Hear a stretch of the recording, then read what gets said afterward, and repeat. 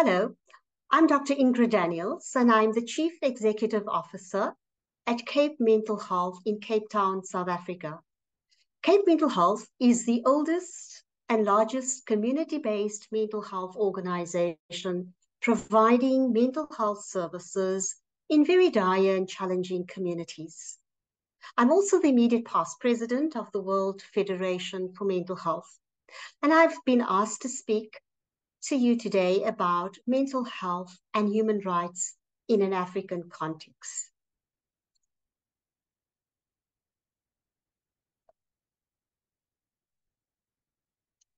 But before I begin, the World Federation for Mental Health has a milestone anniversary, the 75th anniversary of the World Federation for Mental Health will be celebrated this year.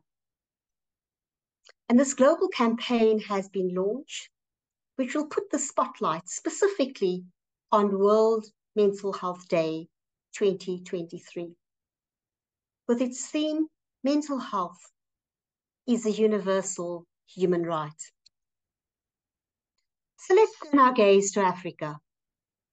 Africa is the second largest continent and the second most populated in the world with 54 countries. Most countries are characterized by low income, high prevalence of communicable diseases, malnutrition, low life expectancy, and poorly staffed services, specifically in the mental health context, while wars rage on and are fought in certain regions on the continent. Collier and Gunning in 1999 stated that despite its vast natural resources, Africa remains one of the least developed and economically underprivileged continents. Across the African region, more than 116 million people were already estimated to be living with the mental health condition pre the COVID 19 pandemic. Suicide rates remain particularly concerning, as are the exponential rates of alcohol use and abuse amongst adolescents as young as 13 years old, according to the World Health Organization Regional Director for Africa, Dr. Machido Matshidiso Moeti, in 2022.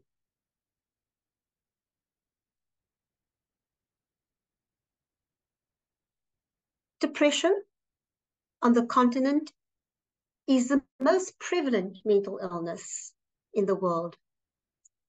Currently, an estimated 100 million people in Africa suffer from clinical depression, including 66 million women. The World Bank considers it the greatest thief of productive economic life, with yearly global costs from mental neurological and substance use disorders estimated at between 2.5 and 8.5 trillion US dollars a year. That figure is projected to nearly double by the year 2030. Eaton et al. in 2019 states that on average, 90% of people with mental illnesses have no access to treatment, especially in poor countries and rural areas in Africa. In Sierra Leone, the treatment gap for mental health services has been estimated to be as high as 98.8%. That is almost the entire population of persons living with a mental health condition. The World Economic Forum presents this very insightful infographic stating that 66 million women in sub-Saharan Africa who suffer from depression have very little access to mental health care. They stated that up to 85% of this population have absolutely no access to effective treatment. In Uganda and Zambia, we see how women's impaired ability to function in day-to-day -day life creates profound hardship. When a woman is unable to perform her essential social responsibilities, she can become a target of criticism and exclusion. An African woman with depression, compared to her healthy peers, suffer greatly. She is less productive, has a lower income, and has poorer physical health, according to the World Economic Forum in 2021. The World Health Organization in 2022 stated that mental health care for people living in sub-Saharan Africa is in, ineffective, inefficient, inadequate, and inequitable. Due to high treatment costs, most young people in sub-Saharan Africa are left with no choice but to live with untreated mental disorders or to visit traditional or religious leaders for treatment simply because Western treatments are not available. The demand for mental health services is increasing in Africa, particularly among vulnerable populations like women. Most African governments devote less than 1% of their budgets to mental health services, according to the World Economic Forum.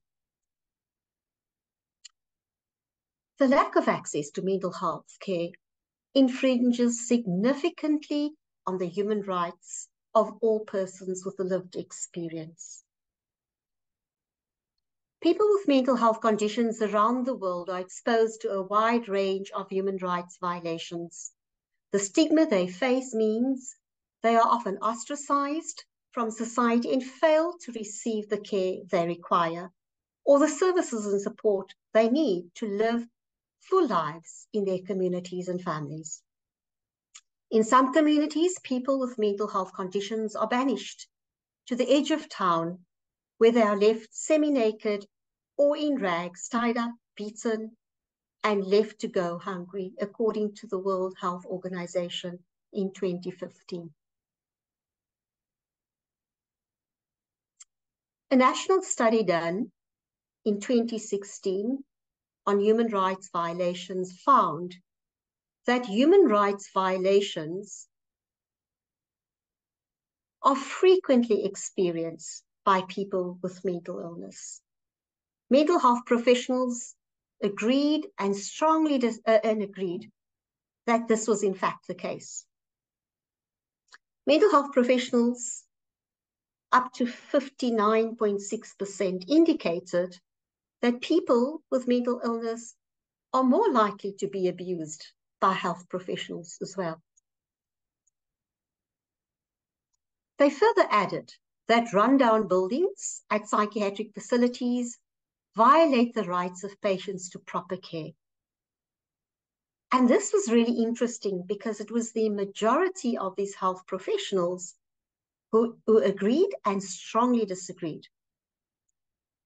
They further added that access to medication is a human right and so often, stockouts of medication have made it incredibly difficult for mental health care users to regularize their adherence to medication. When interviewing persons with lived experience in a focus group, these were some of the comments they made. So we sit with these issues we sit with a stigma that the community is giving us and judging us and saying, there goes that man. A lot needs to be done to change the attitude. As long as there is stigma, we as mental health patients get judged by our community, by our families, and people around you. And if this continues, they noted nothing will change. Another mental health user said, they use your condition against you. You're not treated as normal or as a normal person. And so the African Human Rights Yearbook in 2018 stated that persons with mental health issues are often seen as not being capable of making decisions and are sometimes institutionalized without their consent. They are frequently forced to take medication, and at times they are treated inhumanely, often being chained to soil beds for long periods of time, subjected to violence and torture. The administration of treatment without informed consent, unmodified use of electroconvulsive therapy, grossly inadequate sanitation, and inadequate nutrition. Persons with mental disability are prone to systematic abuse, especially in institutions, since there is no monitoring and accountability structures. The African Human Rights Yearbook further states that the right to mental health is guaranteed in different instruments in the African system. Article 16 of the African Charter states that every individual shall have the right to enjoy the best attainable state of physical and mental health. And state parties to and our state parties to the present charter shall take responsibility for the necessary measures to protect health of their people and ensure that they receive medical attention when they are sick. So there are instruments. There are instruments to guarantee the rights of persons with a mental health condition. However, multiple human rights abuses against those with mental health conditions are still perpetrated daily. There are many, many stories told and untold.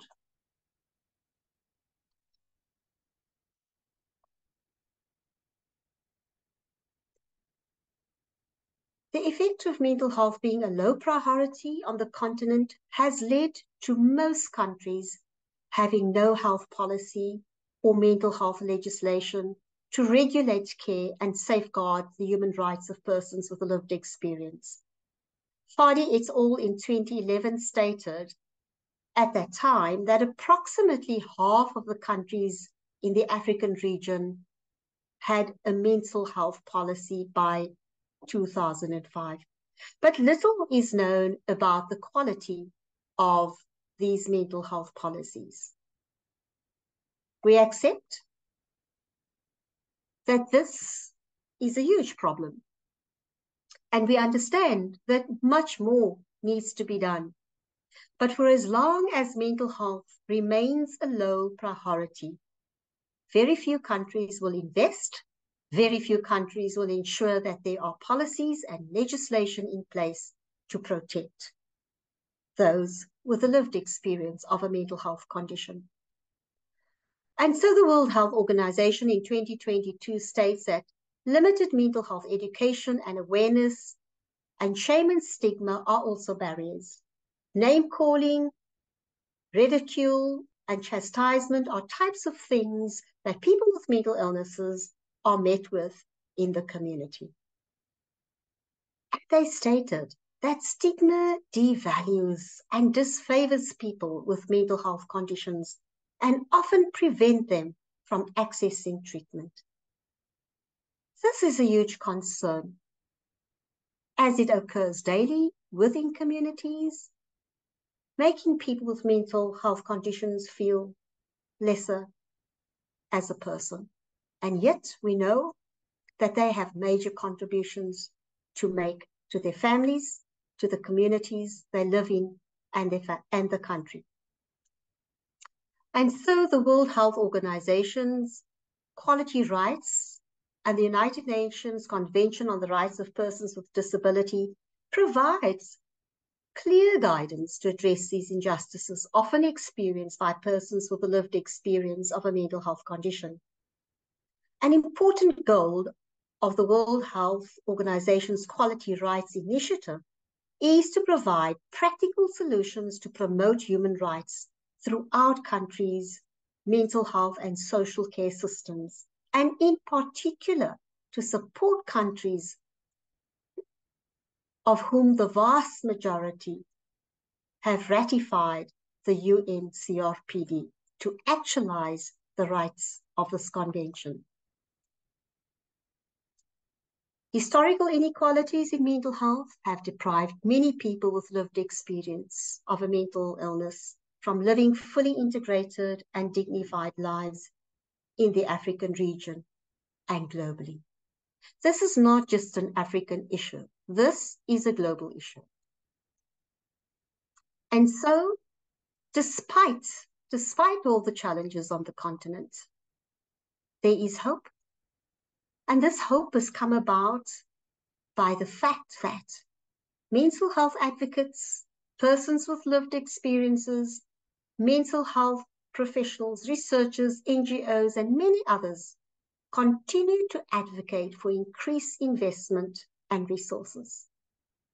They continue to advocate that mental health becomes a priority on the continent and they are cost effective and evidence based and innovative in interventions, such as task shifting and sharing for scalability, the Friendship Bench in Zimbabwe, community based PSR programs and their interventions, specifically run by my organization at Cape Mental Health, peer led initiatives, and integration of mental health into multi sectoral programs seen in Burkina Faso, Ethiopia, Ghana, Niger, Nigeria, Mali, and ongoing training have also been implemented.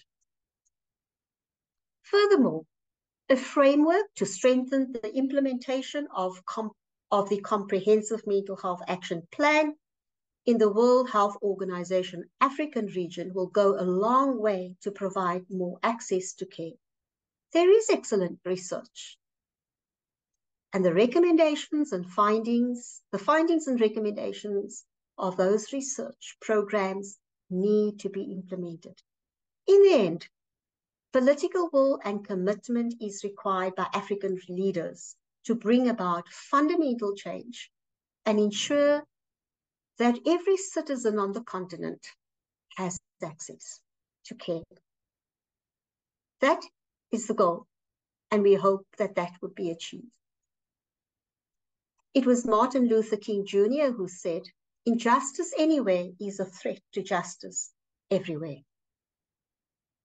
This young man, Shabani from Tanzania, said, For every young person in Africa, there is a voice inside him or her that has the potential to change the world. We want these voices to be heard so that change can happen on the continent of Africa. And as Vikram Patel said, there is no health without mental health. Mental health is too important to be left to professionals alone. And mental health is everyone's business. We need a multidisciplinary, multi-sectoral approach to address the problems across all sectors. Ladies and gentlemen, I thank you.